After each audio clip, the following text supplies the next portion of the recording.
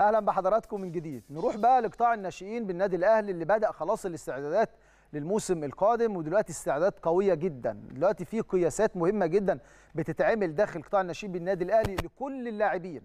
طبعا الموسم لما تم نهايته اللعيبة كلها عملت قياسات والنادي الأهلي بيرجع بيبتدي الموسم بنفس القياسات علشان يشوف اللعيبة وصلت لفين.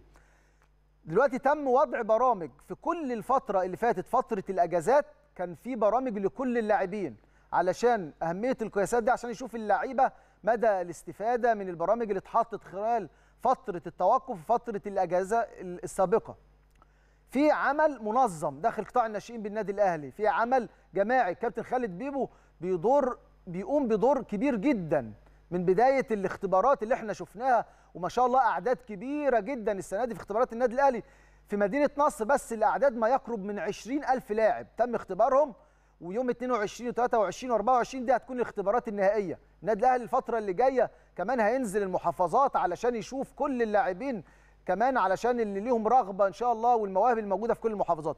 شايفين بروكيتش دلوقتي والدور المهم اللي بيقوم بيه في بداية الموسم شايفين قياسات مهمة جدا. القياسات ده دي أسلوب علمي مهم جدا إزاي النادي الأهلي يشوف النواقص عند اللاعبين سواء بدنية سواء فنية حتى سواء تغذية من خلال التحاليل اللي بتتعمل.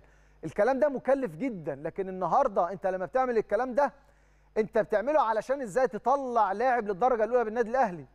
شفنا الفترة اللي فاتت الناس اللي كانت دايما بتشكك قطاع الناشئين النادي الأهلي. شفنا واحد من نجوم النادي الأهلي محمد عبد المنعم ده خريج قطاع الناشئين. شفنا أحمد عبد القادر شفنا أحمد نبيل كوكا شفنا مصطفى شوبير شفنا جاي في الطريق مصطفى مخلوف لعيبة كتير شرقية مساك في فريق 2003 محمد مغربي لاعب في مونديال الأندية.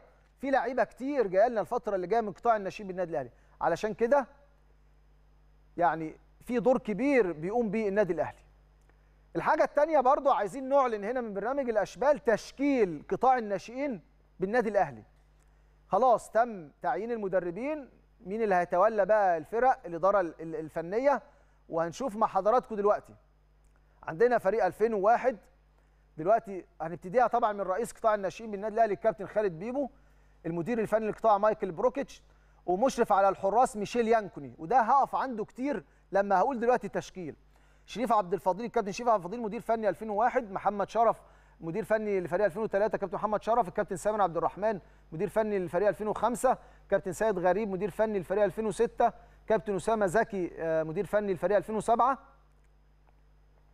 كابتن علاء عبده مدير فني للفريق 2008 كابتن أحمد عبد الظاهر مدير فني للفريق 2009 كابتن تامر طلعت مدير فني لفريق 2010 كابتن علي الطويل مدير فني لفريق 2011 كابتن ممدوح عبيد مدير فني لفريق 2012 وكابتن ميدو ماهر مدير فني لفريق 2013 ده تشكيل الأجهزة الفنية في قطاع الناشئين في موسم 2022 2023 لكن